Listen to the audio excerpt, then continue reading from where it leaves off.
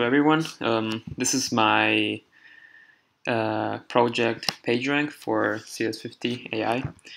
Um, so I'm gonna go straight first to um, execute the program I did.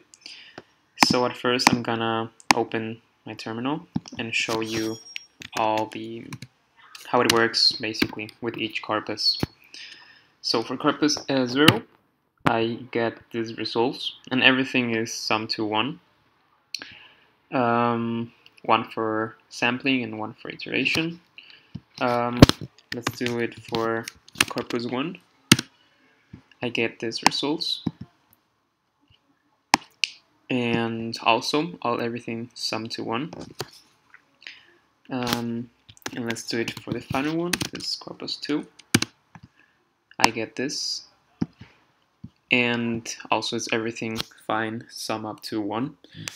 Um, now I'm gonna show you very quickly the, the code what I did and yes. So here I have my transition model um, which is gonna just give a pro probability distribution uh, of each page. Um, dependent here this is very important depending here the num of the number of links uh, that is passed in the number of links of this page here. Um, yeah, if, if it doesn't have have links, then just uh, it has each page in, in the corpus is gonna have um, the same probability. If not, it's gonna calculate the others differently.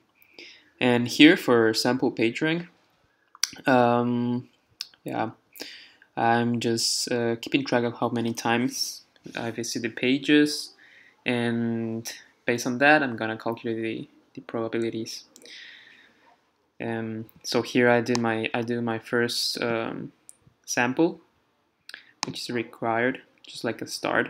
Here for the other one is start of n samples 10,000 and at the end I'm just gonna record all the the um, the results here in in a dictionary um, so yeah, and then I'm gonna print also here in my sum. I'm gonna return final prop. And here also I did for iterate page rank. I initialize my my dictionary that I'm gonna return with uh, one um, divided by n. And then here I'm just gonna iterate through uh, everything, through all the pages until we reach a convergence. Um, so here this is um, very, very straightforward. Um, it's gonna stop once it reaches a convergence and then it's gonna just return the rank. So that would be for for my project. Um, thank you very much.